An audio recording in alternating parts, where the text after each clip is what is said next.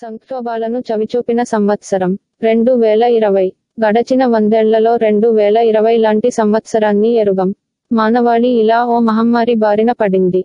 మొదటి ప్రపంచ యుద్ధం ముగిశాక ఒకటి తొమ్మిది ఒకటి ఎనిమిది నుండి ఇరవై కాలంలో. అప్పట్లో స్పానిష్ ఫ్లో దాదాపు యాభై కోట్ల మందికి సోకింది. ప్రపంచ జనాభాలో అది మూడో వంతు.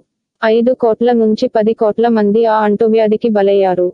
నాటి మహమ్మారితో పోలిస్తే కోవిడ్ తీవ్రత తక్కువే. స్పానిష్ ఫ్లూ ఇన్ఫెక్షన్ బారిన పడిన వారిలో పది నుంచి ఇరవై శాతం మృతి చెందగా కోవిడ్ ఇన్ఫెక్షన్ మరణాలు ఒక శాతంలోపే ఉన్నాయి. వ్యాధి నిర్ధారణ జరిగిన వారిలో కోవిడ్ మరణాలు రెండు పాయింట్ రెండు శాతం. ఆధునిక వైద్యంలో పురోగతి వ్యాధికి సంబంధించి మెరుగైన అవగాహన ఇరవై ఒకటో శతాబ్దంలో ఆరోగ్య సంరక్షణ అవకాశాలు మునుపెన్నడో లేని రీతిలో అందుబాటులోకి రావడం ఏవేళ మహమ్మారి తీవ్రత తక్కువగా ఉండడానికి కొంత కారణం. కానీ అంతకంటే పెద్ద కారణం. ఏ అదృష్టం వల్ల స్పానిష్ ఫ్లో కంటే కోవిడ్ తక్కువ తీవ్రత కలిగి ఉండటం తక్కువ ప్రాణాంతకం కావడం. అయినప్పటికీ ఏవేళ ప్రపంచవ్యాప్తంగా జరిగిన ఆర్థిక విధ్వంసం మాత్రం అప్పట్లో కంటే అనేక రెట్లు ఎక్కువ. కోవిడ్ నుంచి మనం మూడు పెద్ద పాఠాలను నేర్చుకోవాల్సి ఉంది. మొదటిది అభివృద్ధి చెందుతున్న దేశాలను. ముఖ్యంగా భారత్ను పీడిస్తున్న ఆరోగ్య రంగ సంక్షోభం ఆదాయ అసమానతలకు సంబంధించినది. రెండోది గత శతాబ్దంలో పర్యావరణ విధ్వంసం వల్ల భవిష్యత్తులో తలెత్తే అవకాశమున్న ఆరోగ్య సంక్షోభాలకు సంబంధించినది. మూడోది వచ్చే ముప్పై ఏళ్ళలో మన పిల్లలు ఎదుర్కోబోతున్న భూతప గ్లోబల్ వార్మింగ్ పెరుగుదల సంక్షోభం. మరిన్ని మహమ్మారులు గ్లోబల్ వార్మింగ్. ఈ రెండు ప్రపంచ స్థాయి సవాళ్ళు కాబట్టి ప్రపంచవ్యాప్తంగా ఉమ్మడి చర్యలు అవసరం.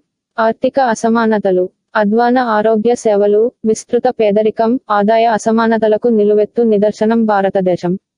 మన దేశంలో ఆరోగ్య సంరక్షణ రంగాన ప్రభుత్వ వ్యయం కేవలం ఒకటి పాయింట్ మూడు శాతం. ప్రపంచ దేశాలన్నింటిలో ఇది తక్కువ. మొత్తం ఆరోగ్య వ్యయంలో ముప్పై శాతం లోపే ప్రభుత్వం ఖర్చు పెట్టడం మరే దేశంలోనూ కనిపించదు. అనారోగ్యం వల్ల ఆదాయాన్ని కోల్పోవడం చికిత్స కోసం జేబులో నుంచి ఖర్చు వల్ల దాదాపు ఆరు కోట్ల మంది ప్రజలు ఏటా పేదరికంలోకి కుంగిపోతున్నారు. కాస్త చెప్పుకోదగిన స్థాయి నాణ్యమైన ఆరోగ్యాన్ని ప్రజలందరికీ అందుబాటులోకి తెస్తే చాలు. Point point. భారతదేశంలో కేవలం పదేళ్ళలో పేదరికాన్ని నిర్మూలించగలం. ఒకటి నుండి ఒకటి పాయింట్ ఐదు కోట్ల దాకా కొత్త ఉద్యోగాలను ఆరోగ్య సంరక్షణ సేవల్లో సృష్టించగలం.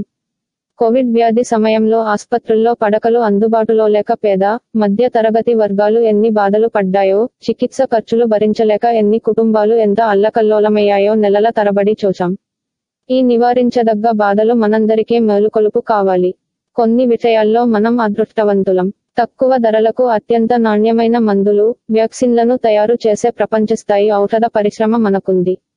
మన ఆస్పత్రులు ప్రపంచంలోనే తక్కువ ఖర్చుతో అత్యంత నాణ్యమైన వైద్య సేవల్ని అందించగలవు. రాష్ట్ర జాతీయ స్థాయి ప్రభుత్వాలు పేదల ఆసుపత్రి సేవలకు బీమా ఆధారిత సదుపాయాన్ని ప్రభుత్వ డబ్బుతో కొంతమేరకు ఏర్పాటు చేశాయి. మనం చేయాల్సిన మరో రెండు ముఖ్యమైన పనులున్నాయి. మొదటిది మంచి ప్రమాణాలు కలిగిన నమ్మదగిన ప్రాథమిక ఆరోగ్య వ్యవస్థను ప్రతి కుటుంబానికి అందుబాటులోకి తేవాలి.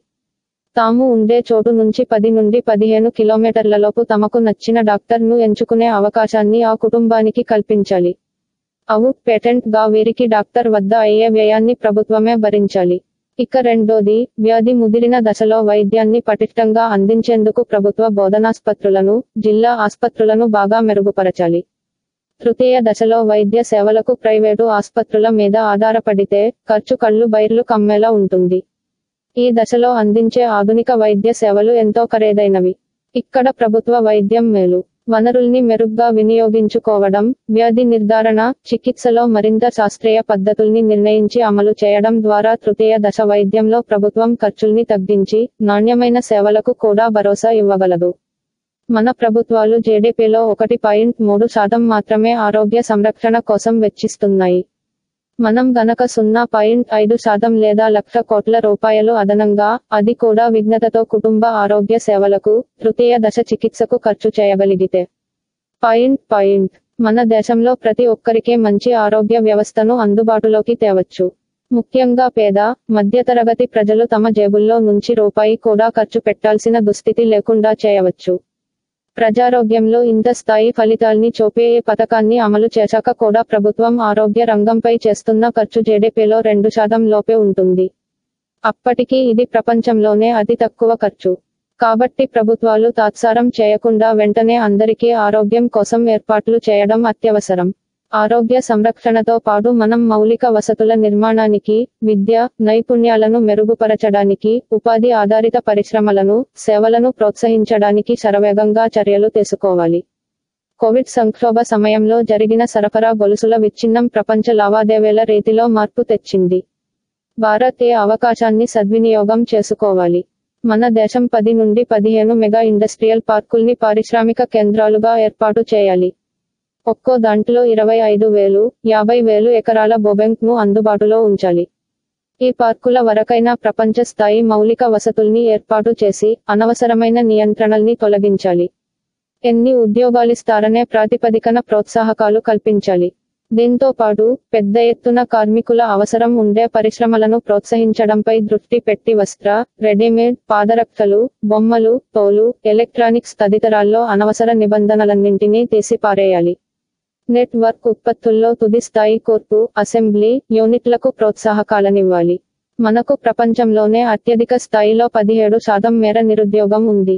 నైపుణ్యం లేని కొంతమేర నైపుణ్యం ఉన్న వారి కోసం కోట్ల సంఖ్యలో ఉద్యోగాలను సృష్టించకపోతే మనం తీవ్రమైన ఆర్థిక రాజకీయ సామాజిక సంక్షోభాన్ని ఎదుర్కోవలసి ఉంటుంది. పేదరికాన్ని అంతం చేసి అసమానతల్ని నిర్మూలించాలంటే మిగిలిన వాటన్నింటి కన్నా ఉద్యోగాల కల్పనే మనకు అత్యంత ప్రాధాన్యాంశం కావాలి. అసంఘటిత రంగంలో ఉన్న కోట్లాది కార్మికులు ఇళ్ళలో పనిచేసేవారు కోవిడ్ కారణంగా ఉపాధి కోల్పోయిన వలస కార్మికుల మీద ప్రత్యేకంగా దృష్టి సారించాలి. ఈ అసంఘటిత రంగ శ్రామికులకు తిరిగి శిక్షణనివ్వడానికి జాతీయ స్థాయిలో ఒక బృహత్ ప్రయత్నం ప్రారంభించాలి. కార్మిక సాంద్ర పరిశ్రమల్లో వీరికి గౌరవప్రదమైన ఉత్పాదకతతో కూడిన ఉపాధి అవకాశాల్ని కల్పించాలి. మానవ తప్పిదాలతో వినాశనం. పర్యావరణ విధ్వంసం వల్ల భవిష్యత్తులో వన్యప్రాణుల నుంచి వైరస్లు మనుషుల్లోకి ప్రవేశించి మహమ్మారుల ప్రమాదం పెరుగుతుంది. కొన్ని దశాబ్దాల్లో అనేక వైరస్లు ఇతర జాతుల నుంచి మనుషుల్లోకి ఇప్పటికే వ్యాపించాయి. జనాభా పెరుగుతున్న కొద్దీ ప్రపంచంలోని వివిధ ప్రాంతాల్లో అడవుల విధ్వంసం పెద్ద ఎత్తున జరుగుతోంది. ఆఫ్రికాలో జనాభా విపరీతంగా పెరుగుతోంది. నానాటికే అడవుల్ని నరికి వేస్తున్నారు. వన్యప్రాణుల మాంసానికి బాగా గిరాకీ ఉండటంతో అడవుల్లో జంతువులను విపరీతంగా వేటాడుతున్నారు. కొన్ని సందర్భాల్లో వన్యప్రాణుల్ని పెంపుడు జంతువులుగా మచ్చిక చేసుకుంటున్నారు.